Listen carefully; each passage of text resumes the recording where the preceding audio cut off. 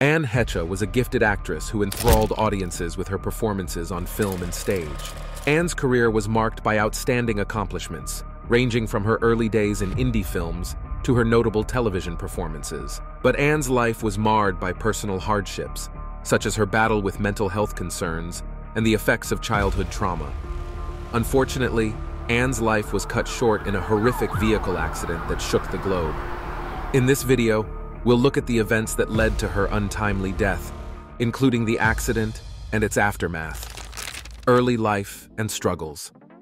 Anne Celeste Heche, who was born on May 25, 1969, in Aurora, Ohio, grew up in an unstable and turbulent atmosphere. As the youngest of five children born to Donald Don Joe Heche and Nancy Heche, her childhood was defined by frequent relocations. The Heche family moved around Ohio, including the suburbs of Cleveland and Akron, as Don sought numerous careers, frequently fueled by get-rich-quick schemes. Raised in a profoundly religious setting, Anne's upbringing was similar to being raised in a cult, as she subsequently recounted. Her parents were devout fundamentalist Christians who instilled rigid ideals and beliefs in their children. Despite the religious intensity, the Heche household was beset by instability, owing primarily to Don's irregular lifestyle and financial enterprises. Despite his instability, Don exhibited musical talent, which led him to work as a choir director in many churches, demonstrating a duality inside him. The family's financial situation caused them to live a nomadic lifestyle, moving frequently during Anne's childhood. One such journey brought them to the Atlantic City, New Jersey area in 1977, where they sought safety in Ventnor City and later Ocean City. Anne felt the weight of financial distress even as a child, working at a boardwalk hamburger stand to supplement the family's income and demonstrating her tenacity in the face of adversity. Their financial problems worsened, resulting in the foreclosure of Don's home and subsequent eviction from a rented property. Struggling to make ends meet, the family took comfort in the generosity of church acquaintances who granted them housing out of charity. Faced with the hard truth of their situation, Anne's mother divorced Don and took control, rallying her children to help the family. Tragedy struck the Heche family with relentless harshness when Don's health gradually deteriorated, hidden behind a cloak of secrecy. Don, a closeted gay man in New York City, kept his late-stage AIDS diagnosis from his family, prolonging their pain. His death in 1983, a scant month after the family learnt of his sickness, placed a pall over Anne's youth, forcing her to deal with the consequences of his concealed truth. The sorrow of loss was exacerbated three months later when when Anne's brother Nathan died in a devastating vehicle accident, shattering the family's fragile sense of stability. The remaining members of the Heche family traveled to Chicago in search of comfort and support among extended family members. They traversed the uncharted waters of loss together, relying on one another for solace in the middle of the storm. Despite the traumas that marked her early years, Anne's irrepressible spirit endured. Immersed in the thriving theatrical culture at the Francis W. Parker School, she found refuge on stage, perfecting her skill and nurturing her love of acting. A beacon of resilience, Anne's persistence and talent drew the notice of a talent scout, opening doors to a world beyond her difficult past. Anne began a new chapter in 1987 when she accepted a position in the soap opera Another World, which marked her television debut. Relocating to New York City, she welcomed the opportunity for independence, ready to make her own career in the volatile world of show business. Anne's journey from the constraints of a one-bedroom apartment to the glitz and glamour of Hollywood Hollywood exemplifies the triumph of the human spirit over hardship, owing to her undying tenacity and unwavering desire to defy the odds.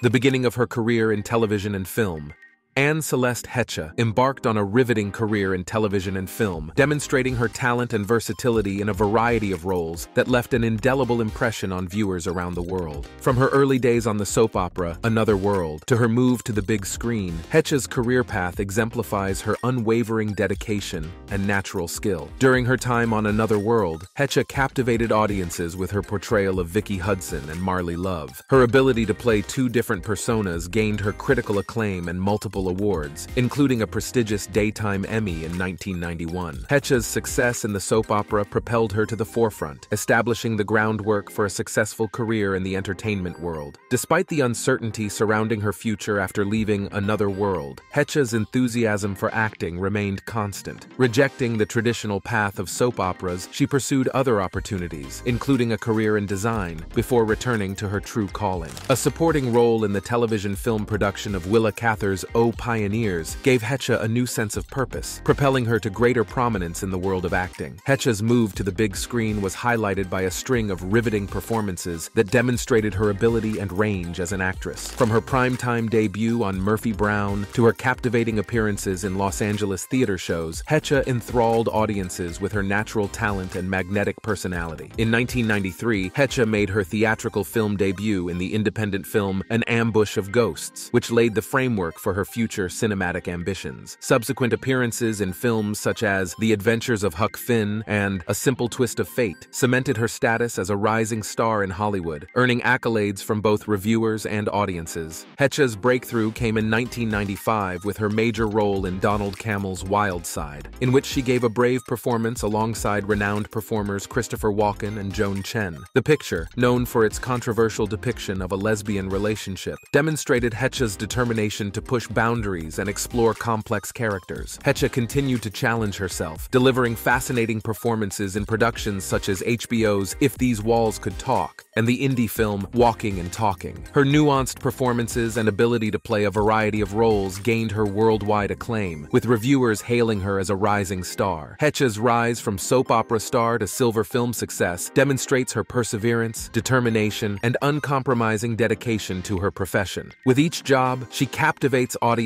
and makes an unmistakable impression on the entertainment industry, cementing her reputation as a strong artist in Hollywood and elsewhere. The career breakthrough.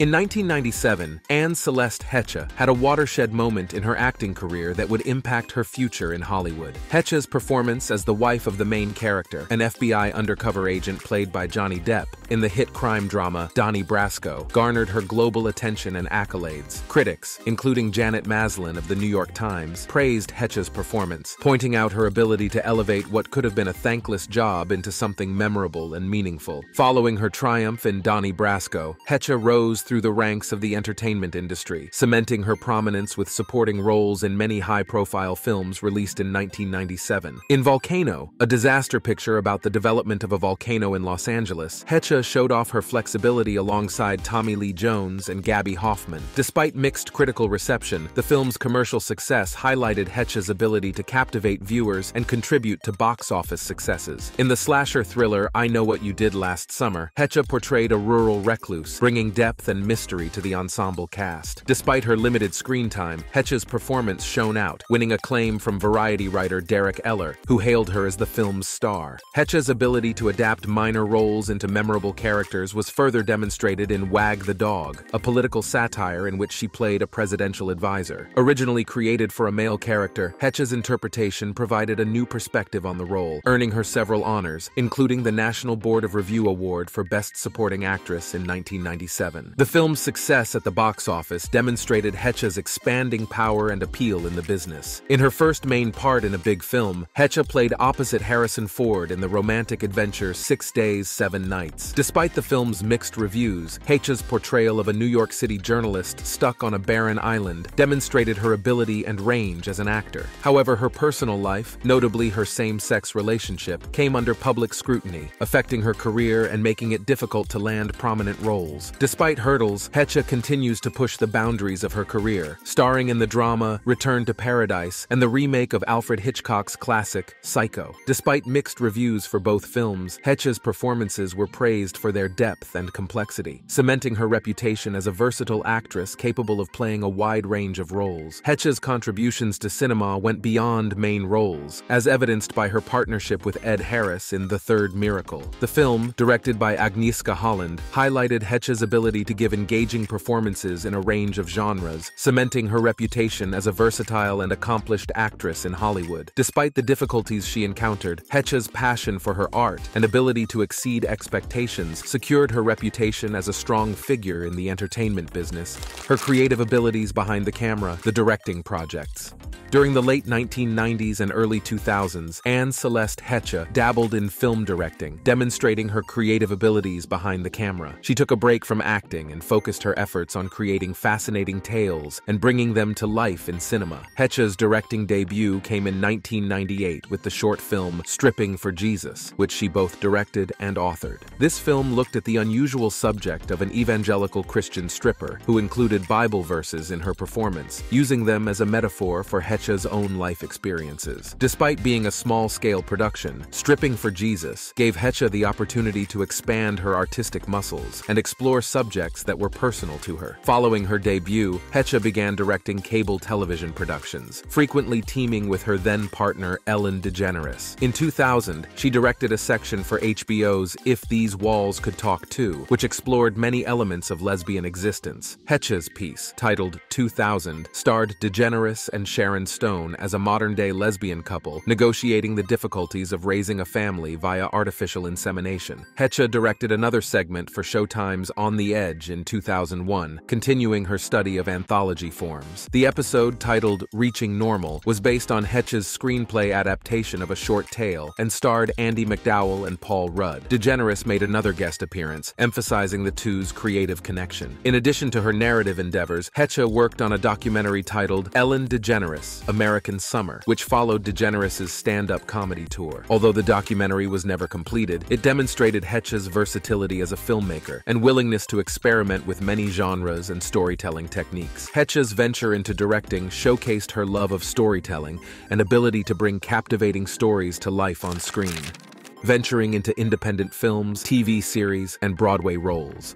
In the early 2000s, Anne Celeste Hetcha went on a diversified path via independent films, television series, and Broadway, exhibiting her multifaceted talents as an actress and director. During this time, she dug into interesting stories, took on demanding roles, and left an unforgettable impression on the entertainment business. Hetcha's performance of Dr. Sterling in the 2001 film adaptation of Elizabeth Wurtzel's memoirs, Prozac Nation, was one of her significant roles during this time. Hetcha, who co-starred with Christina Ricci and Jessica Lange gave her role depth and sincerity, which contributed to the film's portrayal of sadness and mental health issues. Despite its limited theatrical release, Prozac Nation received critical acclaim, establishing Hetcha as a diverse and accomplished actress. The same year, Hetcha demonstrated her versatility by starring in the thriller John Q with Denzel Washington. In the film, Hetcha played a hospital administrator caught up in a high-stakes medical crisis, showcasing her ability to inhabit complicated characters and captivate audiences with her riveting performances. Despite earning negative reviews from critics, John Q was a commercial success, bolstering Hetcha's status in Hollywood. In addition to her cinematic work, Hetcha had a remarkable excursion into television with a recurring role in the fourth season of the acclaimed show Ally McBeal. Her portrayal of an engaging character enriched the show's ensemble cast and earned her praise for her talents on the small screen. Hetcha's talents extended beyond acting as she made her Broadway debut in 2002 in the Pulitzer Prize-winning play Proof. Hetcha grabbed audiences with her nuanced performance as a young woman dealing with her father's mathematical talent and mental instability, evoking comparisons to renowned actresses who had previously played the part. Her performance received critical acclaim, demonstrating her capacity to shine in a variety of theatrical works. In 2004, Hetcha gained critical acclaim and and plaudits for her performances in both film and television, marking a watershed moment in her career. Hetcha was nominated for a Primetime Emmy Award for Best Supporting Actress for her work in the Lifetime film Gracie's Choice, where she demonstrated her versatility and emotional depth in a moving performance. Furthermore, her performance in the CBS television film The Dead Will Tell earned her a Saturn Award nomination for Best Actor, cementing her reputation as a diverse and brilliant actor. Hetcha's contributions to independent cinema continued with her performance in the well-received drama Birth, starring Nicole Kidman and Cameron Bright. Her captivating performance enriched the film's examination of complicated ideas and relationships, establishing her as a respected actor in the business. In television, Hetcha played recurrent roles in shows like Everwood and Nip Tuck, demonstrating her versatility and ability as an actress. She also appeared in her own series, Men in Trees, playing a New York author dealing with the complications of love and life in a small Alaskan community. Despite the show's demise, Hetcha's portrayal received high appreciation from both audiences and critics for her compelling performance. Throughout her career in the early 2000s, Anne Celeste Hetcha's dedication to her art and ability to inhabit numerous roles across various genres cemented her reputation as a talented and versatile Hollywood actor. Whether on the big screen, the little screen, or the Broadway stage, Hetcha's performances enthralled viewers and left an indelible mark on the entertainment industry.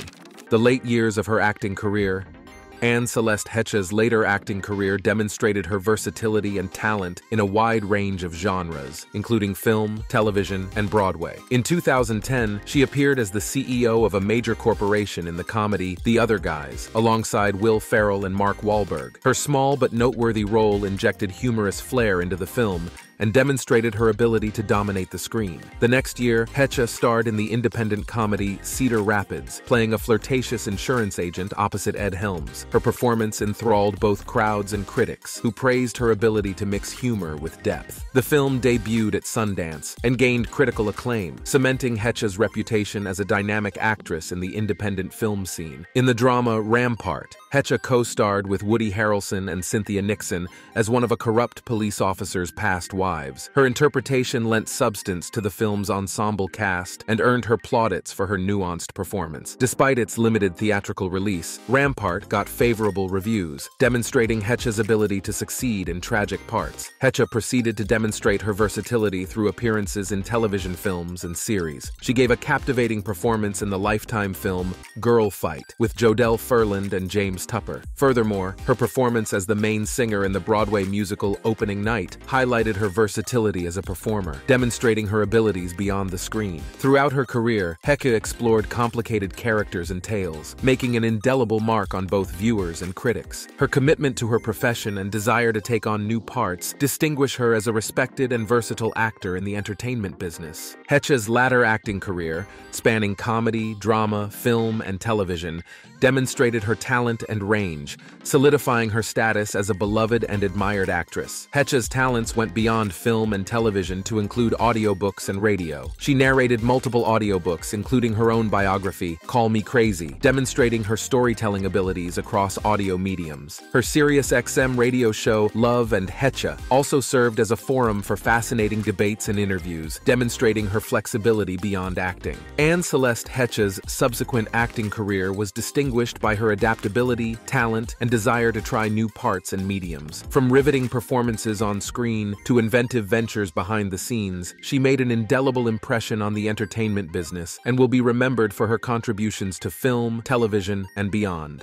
The Troublesome Family Anne Heche's family history is characterized by sorrow and estrangement, which has influenced her own journey and relationships throughout her life. Her mother, Nancy Heche, a Christian therapist since 1997, is essential to her family dynamics. Nancy's concentration on overcoming homosexuality since 2005 has led her to appear at events hosted by evangelical Christian and Christian rights organizations, including the ex-gay ministry Love Won Out. Heche's youth was characterized by loss, as she grew up with four older siblings siblings, three of whom died before her. Her elder sister, Susan Bergman, died of a brain tumor, leaving behind a memoir called Anonymity that detailed their family's troubles. Another sister, Cynthia, died as an infant from a heart condition, and her only brother, Nathan, perished in a traffic accident when he was only 18 years old. Anne has claimed Nathan's death was a suicide, although her mother and surviving siblings reject this. Abigail, Heche's fourth sibling, is the sole surviving member other than Anne. Anne Heche's connection with her family members deteriorated deteriorated over time, aggravated by her revelations about her friendship with Ellen DeGeneres and allegations of sexual assault by her father. Heche's mother adamantly denies the charges, causing more divisions among the family. In her biography, Heche courageously described the alleged abuse she suffered at the hands of her father, claiming that it began when she was a baby and continued until she was 12. She described times in which her mother rejected her genital herpes symptoms as a simple diaper rash, demonstrating the extent of denial and dysfunction in their household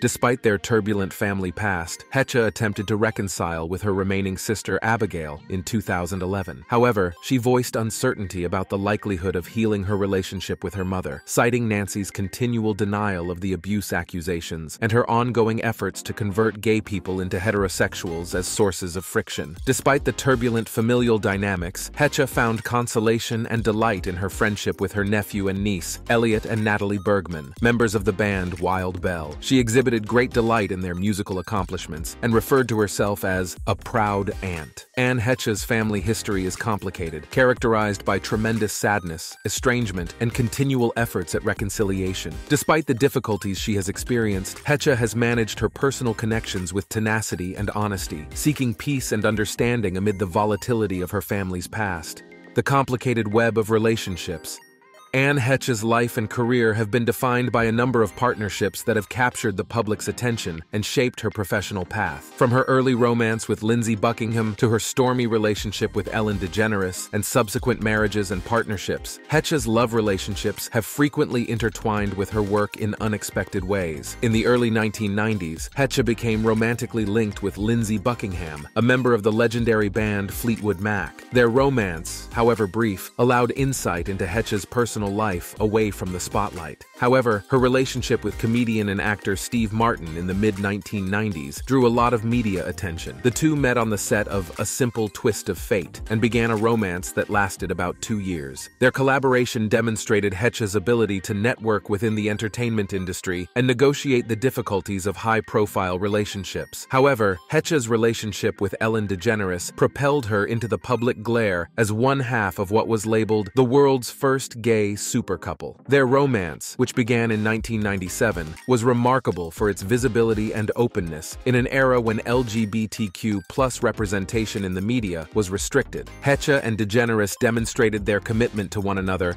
by discussing the prospect of a civil union. However, their love story took a turn when they split up in August 2000. The breakup was met with great media scrutiny, with Heche handling the consequences of their split while facing career and personal obstacles. She faced charges of professional ramifications as a result of her connection with DeGeneres, including being told not to attend premieres together and having difficulty finding acting work. Despite the hurdles, Heche persevered and fell in love again with Coleman Coley Laffoon, a cinematographer she met while shooting a television documentary. They married in 2001 and had a son, Homer Heike Laffoon. However, their marriage ended in divorce in 2009, with Laffoon blaming Heche's actions for their split. Following her divorce, Heche began a relationship with James Tupper, her co-star in the television series Men in Trees. Though they never married, they referred to themselves as eternally engaged and had a son, Atlas Heche Tupper, in 2009. Despite their relationship, Heche and Tupper split up in 2018, marking another chapter in Heche's romantic journey. Heche recently reconnected with her former Hung co-star Thomas Jane in 2019. However, their romance was brief, and they had split by the time Heche died. Anne Heche has lived through the highs and lows of love and relationships, with each connection influencing her personal and professional development.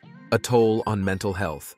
Anne Heche's memoir, Call Me Crazy, dives into her deep difficulties with mental health concerns and the long-term effects of childhood abuse. She admits that much of her early years were spent in darkness, with memories blacked out as a coping strategy. Seeking comfort and healing, Hetcha sought therapy while working on the soap opera Another World, and continued to receive various sorts of therapeutic interventions during the mid-1990s. Reichian body psychotherapy was a significant therapeutic strategy for Hetcha, allowing her to recover repressed memories of the claimed assault and confront the emotional impact of her horrific past. She says this technique helped her recover by allowing her to access deeply suppressed memories and emotions. Heche also went to guided LSD therapy to further open blocked memories, eventually leading to what she claims as a complete remembrance of her early experiences. However, Heche's life changed dramatically after filming for Donnie Brasco. She experienced a condition of crisis characterized by auditory hallucinations and the belief that she was hearing God's voice. In this changed state, Heche became convinced that she was the incarnation of an inner entity named Celestia, whom she saw as the second coming of Jesus. She felt a divine calling to enlighten humanity and regarded her celebrity as a way to accomplish this goal. This phase of spiritual revelation lasted 12 days, and Heche experienced a variety of unusual events, including glossolalia, automatic writing, clairvoyance, and even stigmata on her feet. Her alter persona, Celestia, lasted four years, during which time she claimed to have psychic healing powers and other extraordinary encounters. Later, Heche began on a bizarre journey to Cantua Creek, California, which marked the pinnacle of her spiritual development. In a condition of confusion and disorientation, Heche abandoned her vehicle and walked miles in the blistering sun before finding sanctuary at a ranch house. Her strange behavior, which included asking for a shower and professing delusional ideas, caused the homeowner to call the authorities. Heche's subsequent admittance to a psychiatric institution and diagnosis of psychotic break was a watershed moment in her life. She admitted the severity of her mental health issues, attributing them to the trauma of childhood abuse. Heche discussed her rehabilitation experience in a series of television interviews, emphasizing her determination to leave behind her alter ego and illusions,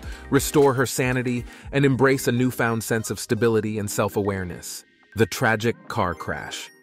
On August 5, 2022, Anne Heche was involved in a sequence of car accidents in Los Angeles that resulted in a tragic outcome. The first mishap occurred when her vehicle collided with an apartment garage, causing minor damage. Despite being encouraged to get out of the car by an unidentified man, Heche's vehicle reversed and fled the scene. Shortly later, her car crashed into a Jaguar without stopping, nearly missing a pedestrian. The most catastrophic event occurred when Heche's truck collided with a house, penetrating the wall and burying itself 30 feet into the structure. The impact ignited the vehicle, resulting in a swiftly spreading fire that devoured the entire structure. It took firefighters 65 minutes to completely extinguish the fire, leaving the property physically ruined and uninhabitable. Hecha was stuck inside the flaming truck for 45 minutes before firemen rescued her. By the time she was released, she had suffered significant burns and smoke inhalation injuries. The tenant of the house, who was in the back of the building at the time of the crash, sustained minor injuries, but lost all of her personal possessions in the fire. Law enforcement officials stated that Heche was acting abnormally and looked to be under the influence at the time of the crashes. A preliminary blood test revealed the presence of cocaine and drugs in her system,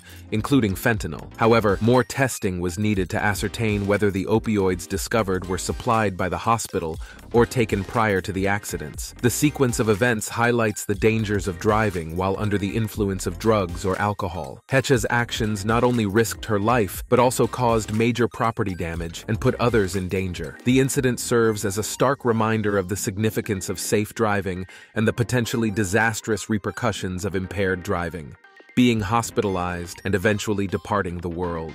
As Anne Heche was being transported away from the crash site, she was spotted sitting up on a stretcher, battling with firefighters before passing out. She was transported to Ronald Reagan UCLA Medical Center for emergency care before being moved to the Grossman Burn Center at West Hills Hospital for specialist treatment owing to burn injuries acquired in the event. Her condition deteriorated, and on August 8, a spokesman revealed that she was in critical condition in a coma, requiring mechanical ventilation for lung injuries. Despite earlier reports of stability, her her condition remained severe. By August 11, it was found that Heche had sustained an anoxic brain injury and was unlikely to survive. However, in accordance with her desire to be an organ donor, she was maintained on life support to determine organ viability. A few days later, organ recipients were identified, and Heche's body was donated. An honor walk was held by hospital workers in recognition of her generosity. Later that evening, she was taken off life support and proclaimed legally dead, the cause of death being inhalation and thermal injuries acquired in the accident. The autopsy results for Heche were disclosed, confirming that she was not under the influence of illicit substances at the time of the incident. While inactive cocaine metabolites were discovered, indicating previous use, no active narcotics were detected in her system. Similarly, cannabinoids were detected in her urine, but not in her blood, indicating past usage unrelated to the incident. The presence of fentanyl was linked to hospital care. On May 14, 2023, Heche's cremated remains were deposited in a mausoleum mausoleum at Hollywood Forever Cemetery, where she will be laid to rest forever. Thanks for watching the video. Stay tuned for more exciting ones in the future.